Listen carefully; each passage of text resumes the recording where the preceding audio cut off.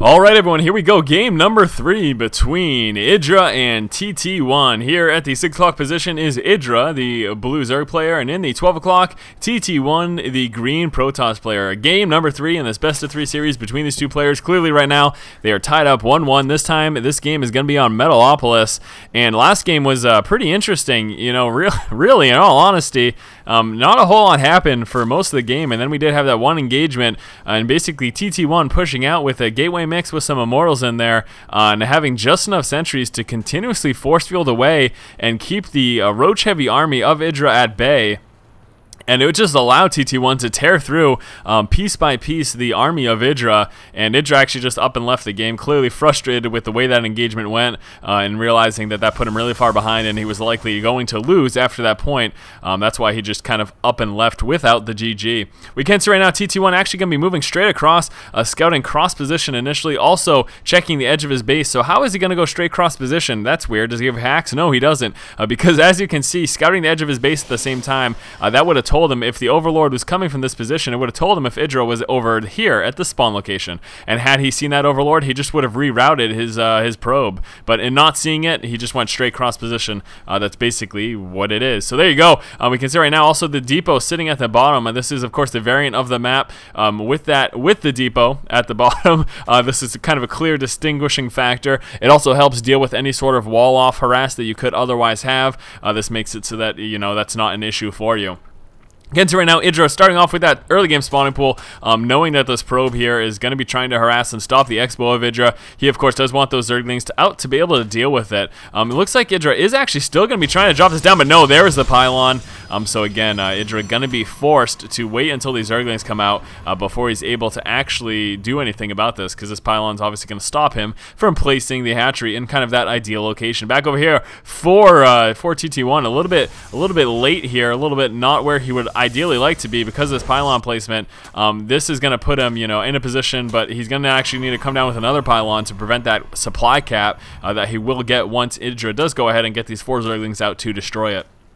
And again, realizing that he wasn't able to drop that expansion when he would have liked to, uh, going to come out with this extractor as well, start to try to work on that metabolic boost. Going to be much later than if we saw extractor pool type of opening. Uh, clearly, that is the case right now. And there we go, TT1 finally coming out with that additional pylon uh, because here comes that inevitable supply block once this pylon does get destroyed. But as soon as this gets taken care of, Idra will, of course, go ahead and drop down that Expo finally at long last. There we go. Expansion is down right now for Idra. Just going to be sticking with these first four Zerglings. Moving on out right now to get some scouting information, grabbing those towers, then going to want to try to head on in the base. And actually, look at this. A drone chilling out in the main base here of TT1. Um, is it unbeknownst to him? I'm not sure if he actually saw, I'm sure he saw that go in, um, but I'm sure he's just waiting until he actually gets that stalker out to even bother chasing it around. Uh, just chasing it around with a, with a probe isn't really going to do much of anything, uh, so might as well just wait until he can actually, oh, actually, Sentry first. I can't believe I just didn't look at the damn production tab.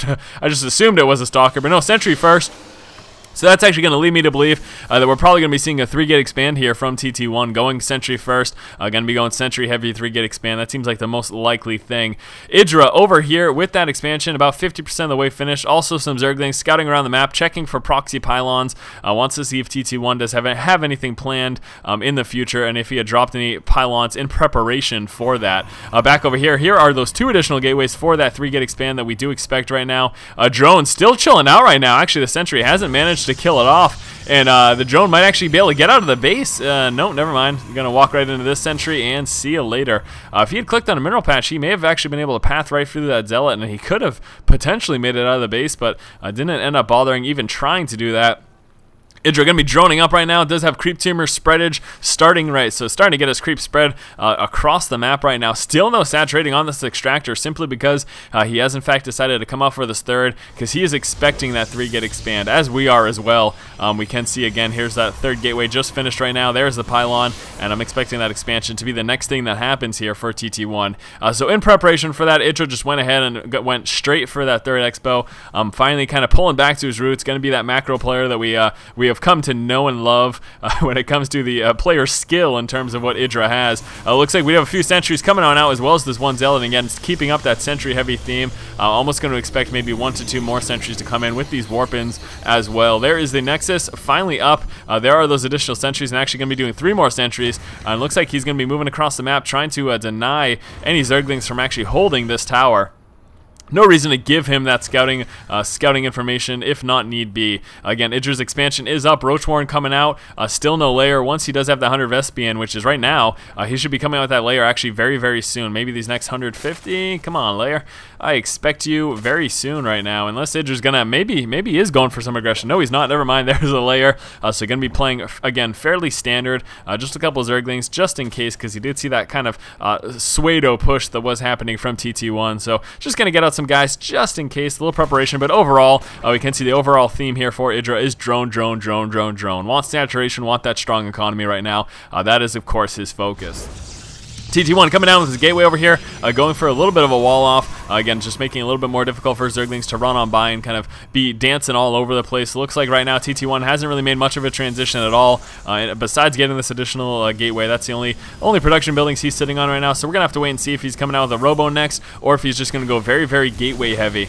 Um, would I, oh wow, actually even destroying off this depot. He just does not like it whatsoever. Um, couple Zerglings scouting out the front of uh, the front of Idra's, uh, Idra's Zerglings, scouting out the front of TT1's base right now. Uh, just to see continuous warp-ins. Now, I'm to expect that Robo because he would, of course, like an Observer, um, and then possibly being able to go for Immortals, as we saw TT1 go for last game. And actually, Idra's starting off with uh, getting an additional hatch, but this is not going to be an expansion. This is just going to be an in-base hatch uh, used for the extra larva that it does provide you with. Uh, Evo Chamber is up, and he will be coming out with that level 1 upgrade, expecting Roach Heavy play just because that's what's really going to be effective uh, in the most, for the most part against a Protoss opponent. We do have the uh, Overlord speed coming out, the Roach speed as well. And as mentioned again, there is that level 1 upgrade. A couple roaches coming out as well. Uh, looks like TT1 is getting kind of uh, amped to push out a little bit. Uh, Idra going to be aware of that right now with those Zerglings that did have spotted outside of the front of TT1's base. And where's that transition? Still nothing, really. Um, he's just been sticking to these four gates, and that is it. Uh, he's just been constantly churning out units and constantly churning out workers as well, uh, trying to get a strong economy, and then use just these gateway units to do, provide a little bit of aggression for him. And actually, if he's, yes, he is, it looks like he may very well be pushing. That's going to force Idra to cancel the hatch that was there. Going to come down with some spine crawlers, just this possible threat here of TT1, and he's pulling back, so a very unfortunate situation for Idra. TT1 not actually committing there pulling back, and as we saw, that forced Idra to cancel the uh, hatchery that he did have there. So that's going to be incredibly frustrating for him, and he's just going to cancel the spines there as well, realizing that that push um, is in fact not coming, and he saw that retreat there with the Zergling that he had at the tower. So how frustrating is that for Idra? Uh, he was just, you know, a moments away from having this hatchery finished and being able to utilize those extra larvae, but was forced to cancel it.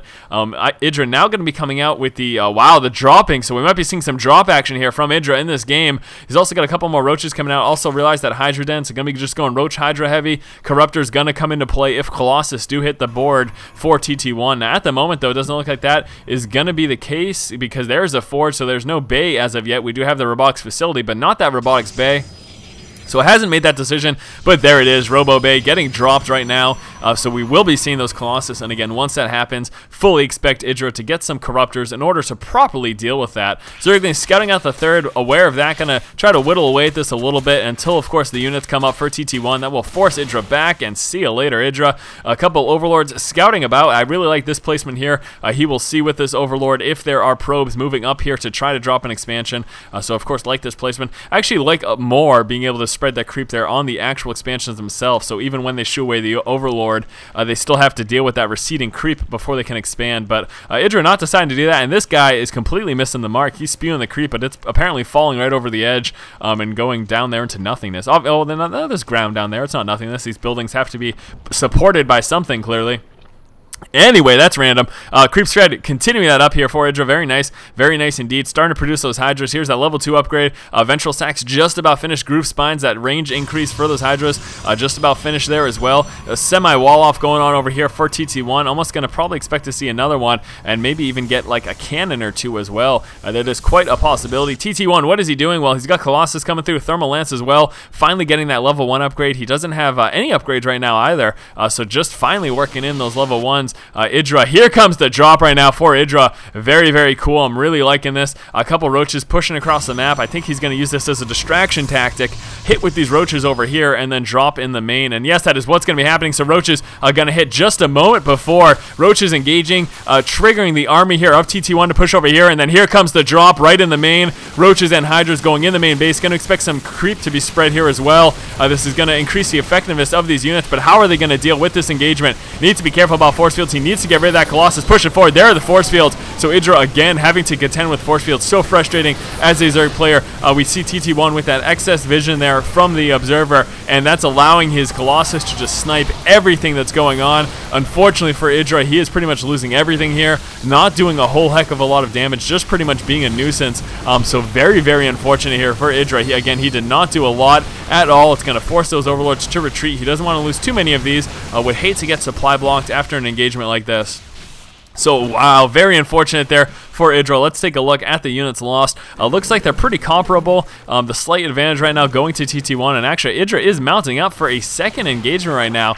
I uh, now, again, realize, in all honesty, uh, besides being a nuisance, Idra didn't do a ton of damage there at all. He did, of course, kill off some of the units of TT1s, but he didn't really hurt that production uh, whatsoever. TT1's production was not inhibited by that attack, and here comes yet another. Uh, this is a healthy mix here of Roaches, Hydras, and Speedlings as well. No distracting uh, engagement here that we did see initially. Um, in that first push we saw, Idra did go for some distraction, but again, look at these force fields and just making it so that Idra cannot do much of anything against the army of TT1. Uh, these Colossus have just been raining hell. This one's getting a target fire down. Needs to be very careful. Get pull out of the range right there. And there you go, TT1 pulling just out of the range. And these Colossus just doing so much damage to the army of Idra. Idra trying to segue a few more units up here, but no. Going to be forced to lift off and pull back, realizing again uh, that those force fields are just a bit too much for him to handle. Managed to unpower over here. Managed to hurt down these gateways and kill one gateway over here as well. Uh, but still, was it enough damage for the losses? Taking a look there, unit loss tab is still up. Idra clearly at a disadvantage right now. Um, in order to really get back into this, he really needs to make sure that he's got his economy strong and pumping uh, so that he's going to be able to reinforce because a counterattack could be pretty devastating. Idra going to try to push over here. One big thing that he needs to make sure he does is actually hurt the economy. If this drop could just go straight on the probe line, he could do enough damage uh, to actually be in a good spot. And here we go, second drop. Give him the third drop actually going to be pushing forward. First into the main, and then the second one's going to be moving here into the expansion. This actually could be what Idra needs to do to come back into this right now. There's a large army here for TT1 doing a lot of damage. He does not have that option of force field anymore. He's all about lost his sentries uh, and really deciding not to make as many here in the late game. Just going to be going with Stalker Colossus heavy. Uh, he does manage to mop this up at the same time. Of course, there is that expansion uh, getting dropped right now from Indra. Idra, is he going to target fire down? Yes, he is. He's going to target fire down straight the Nexus. Is he going to be able to kill it? This is really a big, big important ma matter in this game. If he can kill off this Nexus before he loses these roaches, going to be very close to damage. going to be slowly dwindling down, but there we go. Idra killing off the expansion, and that's a really, really nice victory for Idra. Now, what Idra has to be concerned about right now is the counterattack. A counterattack is happening. You can see it right now. It's going on. Idra, he just needs to defend himself. If he can hold back this counterattack, he wins the game, plain and simple. Taking out that expansion was huge. Uh, the consistent drop harassment and still even more going down. This time some Hydras in the main, but here comes the push, and this is the deciding factor into how this game's going to play out. Idra just needs to defend against this. If he can defend it, again, he has this game won. Corruptor's going to move forward, try to target fire down those Colossus, starting with the weak one first, and uh, unfortunately wasn't able to get that as the Stalker reinforcements uh, did push back these Corruptors here. We have a couple Spines coming into play. Uh, Idra doing what he can. He's got one Roach coming out. He's also continuing up these upgrades. Uh, lots of Spines, but actually what's, what's going to happen is TT1's just going to completely circumvent the Spines. Idra's going to be forced to engage because he does not want this army to get too close to his main base. Going to be target firing down these Colossus Corruptors, doing a lot of damage to this Colossus and the army of Idra mopping up what TT1 has, and see you later, TT1. The counterattack, unfortunately for him, was unsuccessful, and there is the GG. With some early game drone scouting, Idra was able to determine the fact that TT1 was looking to do a 3-gate expand. In spotting this, Idra immediately moved on over to his third expansion. We can see right now uh, the main and the natural are, of course, up and running. And again, spotting those three gateways early on pretty much told Idra that this, this quick expansion, the three-gate expand, was coming from TT1. And as a result, he quickly went for his third. When the third was at, up, Idra dropped an additional hatchery in base to try to take advantage of some extra larva early game. However, while that was building, TT1 postured forward and was threatening to push with some early game aggression. In spotting that early game aggression, Idra actually decided that he wasn't going to be able to defend himself if he came up with this hatchery, so this forced him to cancel the hatchery um, mere moments before it had finished, um, and then try to come out with some spine crawlers to defend. However, unfortunately, after canceling the hatchery and pushing back, uh, TT1 decided to retreat. He didn't want to engage, um, and this, um, I, I, would have to imagine, was incredibly frustrating for Idra. Spotting Idra's third, TT1 decided to move into a third himself, and then with some nice saturation on his bases, he then worked his way up into Colossus Tech. Shortly after TT1 got his third up and running, we saw a little distraction attack at the front wall off at the third, while at the same time Idra was moving a drop right into TT1's main. Now TT1 responded pretty quickly and being sentry heavy from that early game 3 gate expand, he was able to utilize force fields to actually push back this initial, initial aggression. Um, in all honesty, in this initial attack, Idra didn't end up doing too much damage simply because of these force fields.